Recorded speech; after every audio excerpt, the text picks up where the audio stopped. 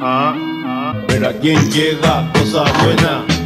Memes como esto han sido tendencia últimamente, objeto de burlas y otros de sorpresa, porque no se explica cómo un artista que no ha generado millones de views en sus últimos videos, no es tendencia en TikToks y no ha sido mencionado en Univision ni en Telemundo, se haya ganado un Grammy. Bueno, todos sabemos que estos premios son una tiquetera de exposición. ¿Deseas que te cuente más sobre cómo funciona esto por debajo de la mesa? Déjame saber en los comentarios. Sigamos. Si bien es cierto, es innegable que Tego Calderón es un ícono de la cultura reggaetón. No se le quita el mérito, y aunque algunos niños de la generación Z no lo distinguen y solo saben de artistas virales, su último tema ganador ha causado revuelo, porque para más de uno ha pasado desapercibido, con apenas 28 millones de views. Y aquí está lo que el público no distingue. El premio era para el mejor intérprete de reggaetón, y los demás exponentes nominados cantan sobre fusiones de diversos géneros, seguido de la palabra urbano. Naturalmente, no hay contrincante, por lo tanto, éxito.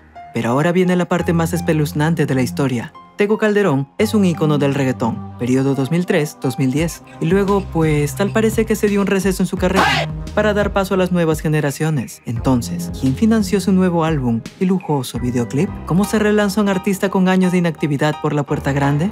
¿Y este responsable iba a dejar pasar tan bien elaborado proyecto sin un Grammy? Ya se tenía el ticket de nominación, y aquí viene el truco. La estrategia estaría basada en crear una categoría donde a pesar de haber otros nominados, se vende premio Grammy. El único con las características que encajan en la categoría sería el consagrado Tego Calderón.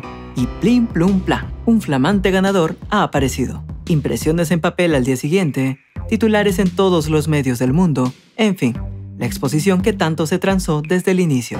Pero hay más, como pueden escuchar en el segundo 234. Así es, Elías de León, reconocido productor ejecutivo de White Lion, responsable de esto, una vez más lo hizo de nuevo. Todos sabemos que en el género hay pilares.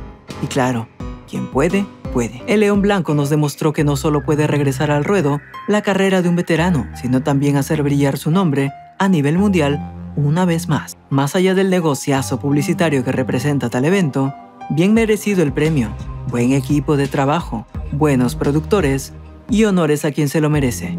Larga vida al género. ¿Te sabías esta parte de la historia? Déjame tu comentario, no olvides seguirnos y comparte si te gustó el contenido. Atento al canal para saber más historias detrás de los eventos más populares.